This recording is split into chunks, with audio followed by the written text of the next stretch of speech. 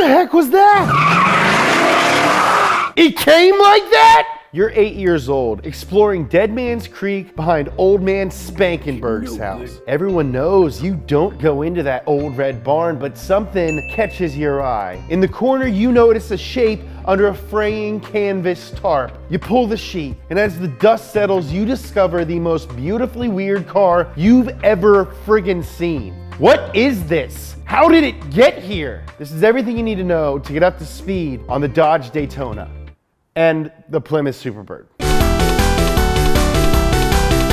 In 1968, NASCAR was a big deal, and Dodge was getting their butt kicked by Ford and struggling to keep up with their sister company, Plymouth. It was pretty embarrassing. It's completely humiliating. So the order came from the very top. Build a car that can win and do whatever it takes. The first try was a modified Charger. The 68 Charger is an icon, probably top five best looking American cars ever, but it was a crummy race car. The wide ass grille trapped in a bunch of air and the flying buttresses created a vacuum that sucked the car upward, making it impossible to drive at high speed. To fix this, Dodge fitted the Charger with the grille from the Coronet and made the rear window flush with the B-pillars. The result was the Charger 500, a much smoother car that could actually handle at high speed. But it wasn't enough to win, as Ford had also been perfecting their own stock car, the Gran Torino, named after Clint Eastwood. When the Charger and Torino met at Daytona, Ford went home with the win. Dodge was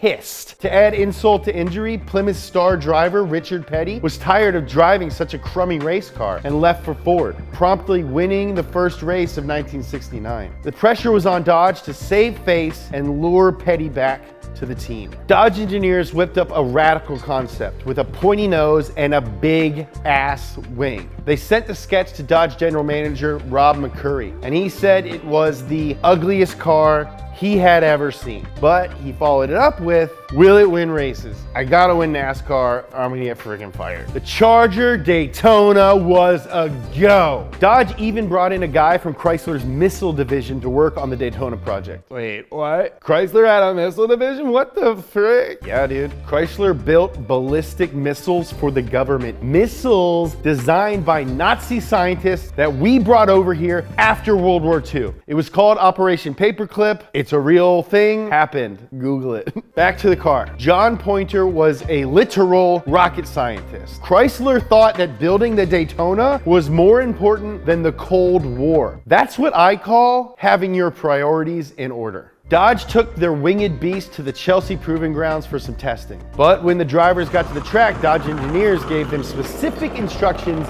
not to go over 190 miles an hour. Here's why they couldn't do that. Ford had spy planes circling the track. This is weird, right? I mean, Chrysler had a missile division and Ford had spy planes. What a time to be alive! Dodge driver Charlie Glotzbach drove the Daytona to 204 miles an hour, the first NASCAR to break the 200 mile an hour mark. The team kept the top speed a secret. No one outside of Chrysler's engineering staff or upper management knew how fast their car really was. The Daytona made its public debut on September 14th, 1969 at the Alabama International Speedway, AKA the house that Ricky Bobby built. Well, Dick, here's the deal. I'm the best there is, plain and simple. I mean, I wake up in the morning, I piss excellence.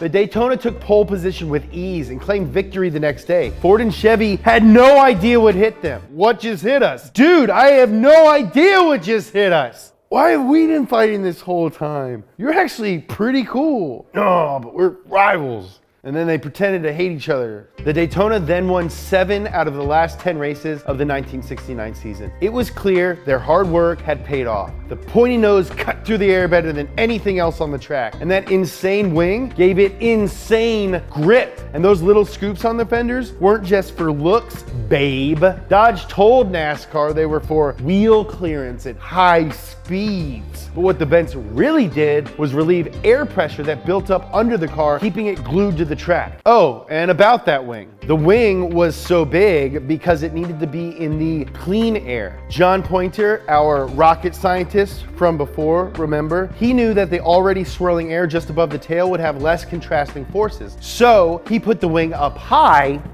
where it could produce significantly more downforce to the rear wheels. Also, for the Daytona to be legal to race, Dodge had to build 500 production models for the public to buy. On Sunday, you could watch the craziest looking race car ever destroy the competition, then go buy the same car on Monday.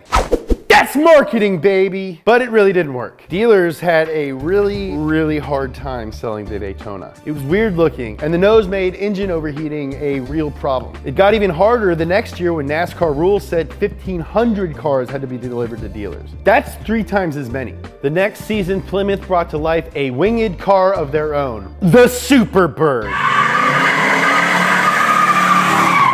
And even though both the Tona and the Bird look pretty similar, there are some subtle differences betwixt them. You gotta be a real connoisseur of winged pointy-nosed NASCAR cars to know. For one, Plymouth designers really didn't like the idea of putting a big nose on their prized Roadrunner, and only agreed to do it if they could make it look better. The nose was reshaped and the wing was placed further up on the trunk. These changes made the Superbird around three miles per hour slower than the Daytona, and after 200 laps, I'm gonna be honest with you, that makes a pretty big difference. but that didn't stop Richard Petty from returning to Plymouth for the 1970 season in his signature Petty blue paint scheme. Well, well, well. We finally have a good car, and now suddenly Richie's interested? I see how it is, dick. Now, we have two race cars with giant wings that people would buy at the dealership. Am I the only one who sees how fucking crazy this is? Chrysler wanted to win NASCAR so bad that they made 3,000 cars that will only be sold to two guys, Joe Dirt and Matthew McConaughey in Dazed and Confused. Actually, if you think about it, I'm sort of a mix between Joe Dirt and Matthew McConaughey from Dazed and Confused.